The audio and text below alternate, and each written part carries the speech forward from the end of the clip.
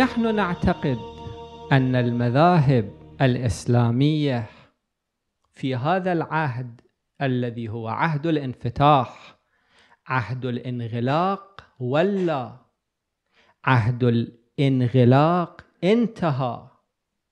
إذا كان للانغلاق في عهود ما يبرره الآن بعد ماكو شيء يبرر الانغلاق والتقوقع على الذات.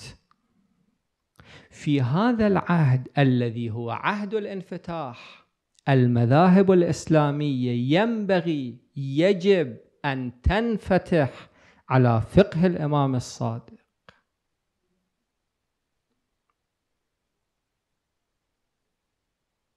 على الأقل مقارنة بين هذا الفقه وهذا الفقه. مقارنة حتى يعرف أن أي فقه وأن أي مذهب. الآن ماذا نتكلم في الإطار الكلي لا في إطار المفردات. كل مفردة من هذه المفردات أيها أقرب إلى الواقعية. هنالك عقد في الحياة. الفقه يجب أن يحل عقد الحياة. الفقه الذي لا يتمكن أن يحل عقد الحياة. كيف ينظم الحياة؟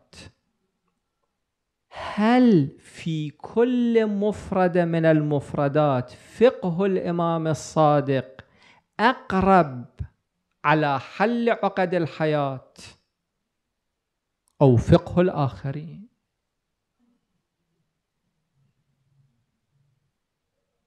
بغض النظر عن قضية الإمامة بغض النظر عن قضية النص الإلهي الآن مو كلامنا في الإمامة ومو كلامنا في النص الإلهي.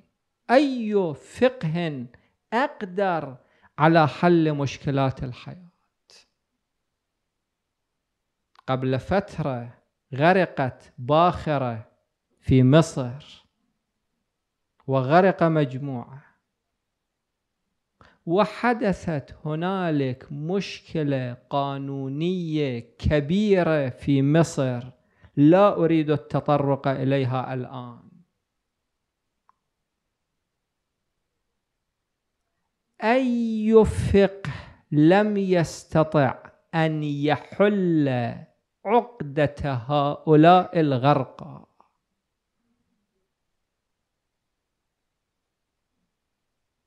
وبالنتيجة اضطرت المحاكم أن تحل هذه العقدة عبر فقه الإمام الصادق صلوات الله عليه.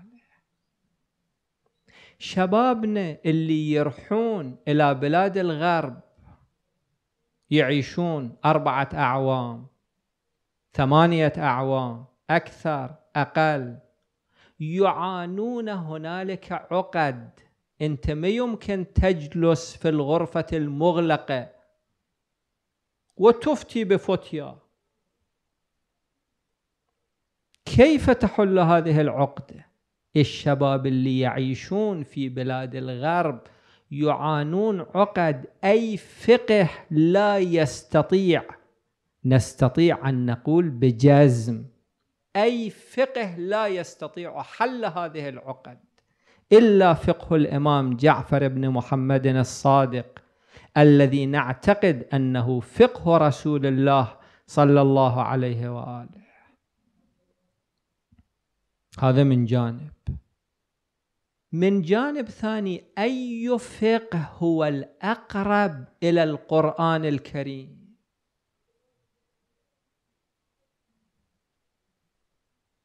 أي فقه أقرب إلى ما قاله رسول الله صلى الله عليه وآله؟